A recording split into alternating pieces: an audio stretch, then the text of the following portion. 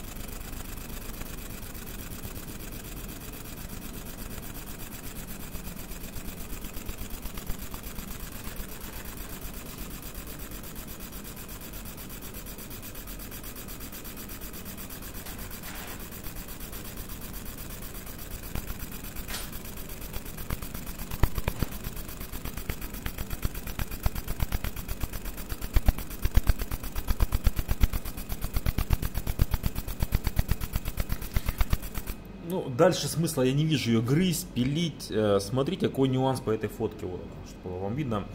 она в принципе вообще идеальная по цветопередаче, по белому цвету. Здесь э, на жетоне бить мне не надо белый цвет, то есть белый здесь получается идеально матовый, то есть он видно не, не бликует, ничего с ним не происходит. Поэтому я смысла не вижу. Нагар здесь снимется, она будет чуть-чуть посветлее, чуть-чуть самую малость. Э, но есть небольшой, опять же, нюанс. У нас эта фотография, она, видите, квадратная. И она также будет выглядеть на жетоне квадратной. То есть у нас получается по самому жетону по заливке. Получается, будет нижняя часть блескучая, верхняя часть блескучая. Чтобы это не происходило, обязательно я сделаю сейчас подложечку. А, ну, это метод Александра с Украины, он, в принципе, хороший. Это для тех, кто, ну, только-только начинает, допустим, не понимает некоторых моментов, некоторых нюансов, как это все работает. Вот. Скажу сразу, да, эта методика мне тоже нравится, но я ее не использую. Сейчас. Фокус на не поймал уже железки-то разного размера. Вот, именно эту методику я не использую, ну, хочу делать с первого раза, с первого захода. Так, ну, в принципе, пойдет. Пойдет, отлично. Нажимаем F2.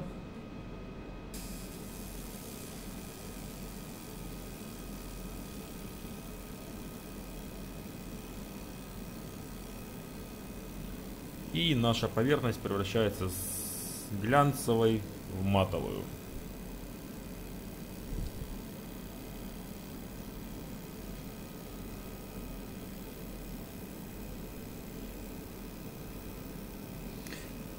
Я еще, возможно, здесь даже пробегусь.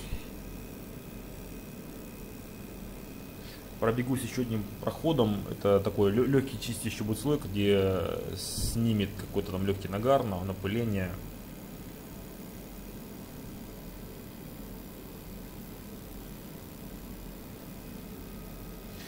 Опять же, здесь получается у меня идет э, скорость 2000, мощность 23%. Для линзы 110 на 110 это слишком много, то есть мощность слишком большая. Я хоть ее и сбрасываю постоянно, но он все равно, блин, прет и прет. То есть для 50 это слишком как бы, многовато.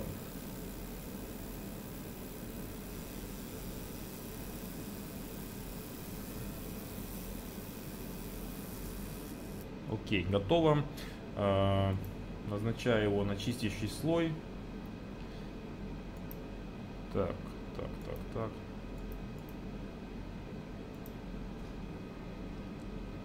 F1, F2. Опять же, чистка. Блин, я опять же мощность сбросил до 20%. Все равно этого слишком много. То есть у 50 ваттника есть одна загвоздка в том, что в принципе станок слишком мощный для линзы, допустим, 110 на 100. Ну, то есть тяжело привыкнуть, э, когда работаешь линзой, допустим, 200 на 200, потом перейти линзе 110 э, на 110. Либо я вообще молчу, когда переходишь уже на линзу, допустим, ту же самую 50 на 50. Это прям, ну, прям жгет, жгет. Вот. Поэтому, кто рассматривает вариант себя 50 для сувенирки, ну, спорно, я бы не брал бы. Не брал бы, потому что, в принципе, ну, ни к чему это, это переизбыток мощности. Честно, я даже сейчас бы сел бы на 30 ваттку, он на 30 ватточке работал, но бывают просто часто такие заказы, что раз в месяц приносит какой-нибудь там аврал из там двух-трех тысяч изделий, которые надо срочно сделать, надо быстро сделать. И тут, конечно, 50-ник выручает очень сильно.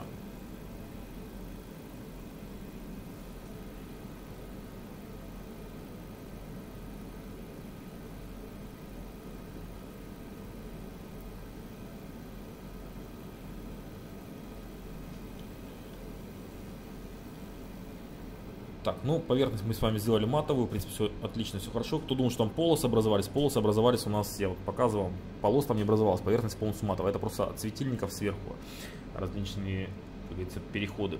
Выбираем наших волков, э, все там нас устраивает, все с ними хорошо. Э, ставим их по центру, они, в принципе, стоят по центру. Вот. И нажимаем на F2. Так, ну, достаточно.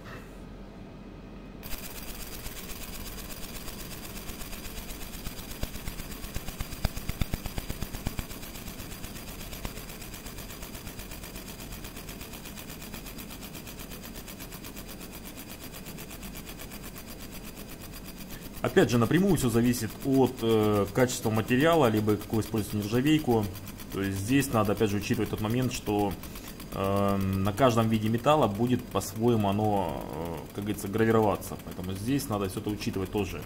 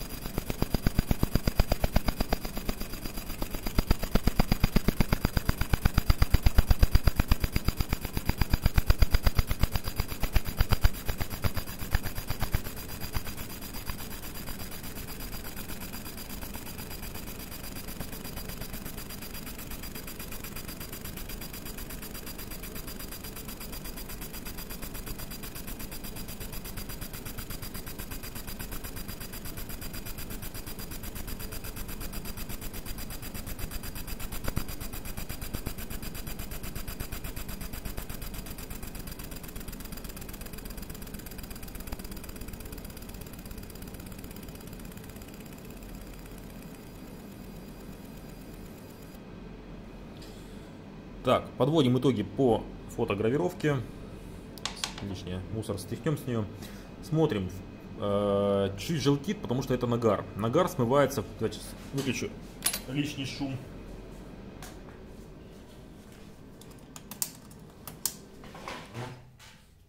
Смотрите, э, сама гравировка желтит, она смоется, все это смоется с помощью моющих средств, либо кислот определенных. Вот. А тыльная у нас получилась глянцевая, там мы сделаем нашу гравировочку. То есть белый цвет э, здесь потом будет с плавным переходом уже на вот этот чистый момент. Вот, э, что, какие плюсы, вот то, что Александр посоветовал, да, делать подложку. Ну, плюсы для, в принципе, для начинающих, либо тех, кто не получается у кого, э, тех, у кого белый цвет именно бликует, то есть вы не можете достичь того, чтобы ваш лазер а, белый цвет гравировал, то это самый для вас идеальный вариант. То есть вы делаете подложку белую, грубо говоря, и по ней делаете уже черную гравировку. И у вас получается все идеально, все хорошо.